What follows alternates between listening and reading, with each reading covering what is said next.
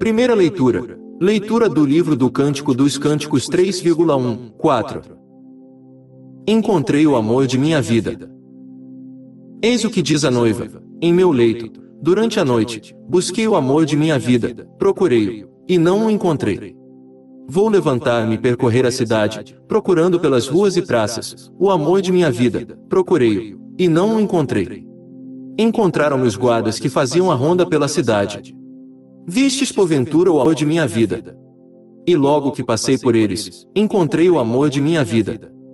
Palavra do Senhor. Graças a Deus.